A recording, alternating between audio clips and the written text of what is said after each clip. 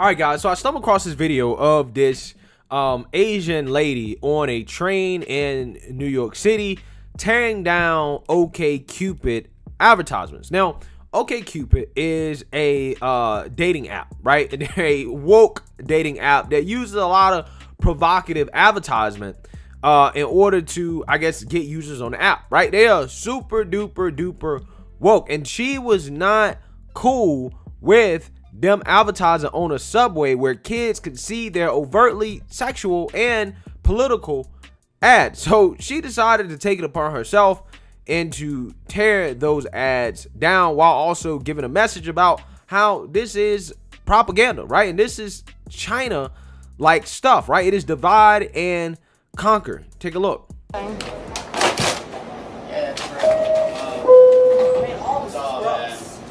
yeah. I don't know, for kids to be looking at this, is that okay?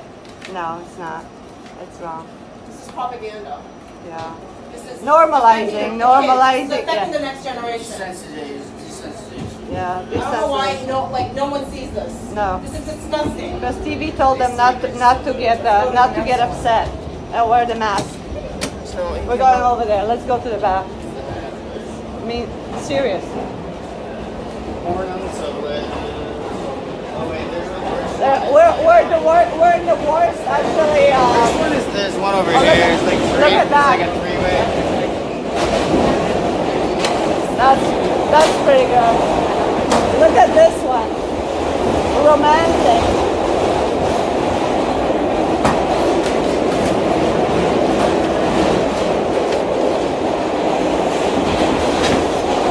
Look at this, everyone.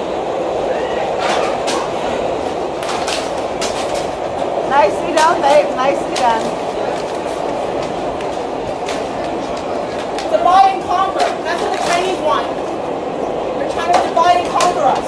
The government is against us, and you guys don't see it. It's never gonna go away. So we, the people, say we don't want this anymore. Thank you. All right, guys. So as you can see there, um, she's tearing those uh, OK Cupid posters down, and you can see um that a lot of those advertisements are provocative and you know kind of overtly sexual. Now I gotta say I don't condone vandalism, guys. Now you know to me that looked a lot like vandalism, right? Uh, I'm sure though that company paid for uh, an ad on that train. So again, I'm I'm not condoning that. Okay.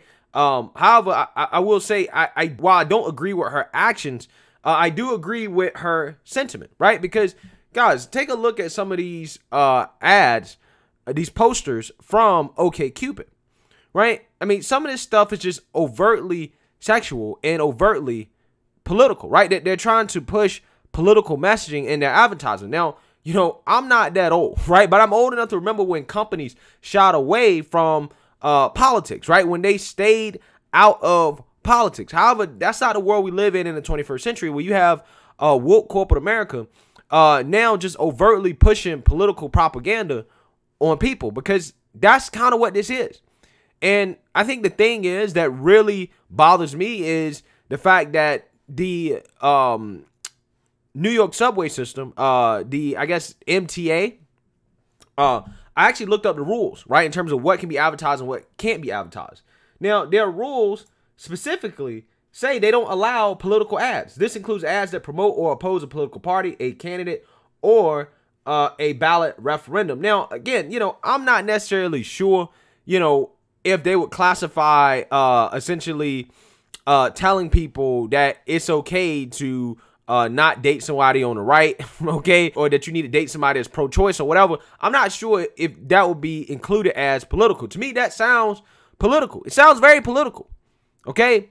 And then also on top of that, it says ads. They don't allow ads that promote any sexually oriented business. Now, um, we can make an argument that OK Cupid as a dating app may or may not be a sexual oriented business, but their advertising is definitely sexual. And you would think that just looking at their advertising that it is a app that you know may or may not provide sexual services, even though it, it is a dating app. I'm just saying, looking at the advertisement, right? Looking at the advertising, the way they market themselves.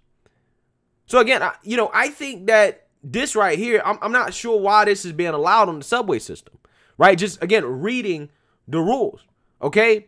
Unless, who knows, maybe uh, the New York City, uh, the government, maybe they're cool with this type of stuff. They're cool with this type of messaging, right? I can't imagine who in their right mind would review advertising like this and say that, oh yeah, th- this is appropriate to put on the subway where you have kids, right? Kids on the subway looking at this type of stuff, right? Indulging in this type of stuff, right? I mean, we, we have public decency laws for a reason, guys. Listen, I'm pro free speech. That's why I said, listen, it's wrong that she tore down uh those posters, right? I think there's a better way to handle that, and I'll get into that in a minute. But at the same time, you know, I I, I do agree with her in, in regards to it being propaganda, right? And the government essentially okayed this propaganda. It might not necessarily be directly from the government. It is woke corporate propaganda, but the government okayed it and said, "Oh no, it's okay for you to uh overtly uh advertise in a sexual way and be political on a subway system." Right? I think that's what really bothers me more than anything. But with that being said, you know, I, I, I think that this woman, she should have took her protests and her issues directly to the government, right? Um, and, and the reason why is because, you know, I don't want to see people like her whom, you know, did something that, you know, uh, a lot of people are saying is brave, but again, at the same time, I mean, it, it is vandalism. I don't want to see people like her get in trouble, okay? Um, she should take that energy and, and go to the government and say, hey, listen, um, I'm not sure if this is something we should be allowing. Okay, if she has this type of uh these type of grievances, and I'm sure a ton of people agree with her, right? They'll be more than willing to go and to um you know speak out about this advertising in New York City. But I mean, I don't know. I mean, it is New York. It is you know a liberal you know place. I I don't know. you know, I could be wrong about that. They could be cool with this type of stuff. I don't know because I I, I do kind of agree with her in the sentiment that yeah, I mean you shouldn't be having this type of overtly sexual advertising in a public space. Okay, there are things that we deem acceptable uh in the public sphere. Like you for example, you can't flash people, right? There's only so far that you can go with this type of stuff, right? And that has to be kind of a, you know, a cutoff, right? Where you say, okay, this is not okay. Like we can't just have this in public. And that's something that we've always had. But who knows? I don't know. Maybe the people in New York, maybe this is what they want, right? It is a, a, a liberal uh city right? And maybe they're cool with this. May a majority of Americans might not be cool with it, but maybe these people in these cities might be okay with it. I I, I don't understand how a parent could be, but I, again, I don't know, right? I have no clue, you know. Um, but I know that in a place like North Carolina, for example, um, I've seen billboards for uh, adult stores that are not advertising overtly like this, right? They're not as straightforward about you know the sexual aspect of the business as OKCupid. And OKCupid is a dating app, right? I mean, we're talking about advertising for sex stores not being that overt, right? And this is what OKCupid is doing. Kind of blows my mind that this is the direction the company is going in. But at the same time, like I said, that it is their free speech, right? It, it is, you know, their right to put out ads like this. Now, you know, certain platforms allow ads like this, certain platforms don't. Uh, apparently, the, the New York uh, train system it allows this, right? They, they, they don't allow other stuff, but they apparently allow this. Who knows? Maybe this is close to the line. I have no clue whatsoever. But ultimately, it is up to the people in New York City to speak out about it, and also it's up to the customers of OKCupid if they're you know not okay with this to speak out to the company about the fact that they're overtly advertising in a way that is sexual and political. It might not be appropriate for kids. Again, for this to be allowed on a train, okay, a, a train where you know you got children riding the train, right? You got people on the train, you know, looking at stuff. Again, it, it kind of blows my mind that people aren't pushing back because this would never happen in the South. Never. This would never be allowed in the South. But again, I, I, I do agree with her in the sense that yes, this is, um, you know, subconscious in regards to how you know woke corporate America is trying to indoctrinate people in a certain type of political rhetoric, right? I mean, this is overtly like political left wing you know, pushing a certain type of lifestyle on people. And it's one of those things where you don't think is a big deal when you first see it. But when you see it over and over and over again, like imagine riding the subway every single day, then it's something that becomes ingrained in your mind. And you don't even realize it because you're watching every single day.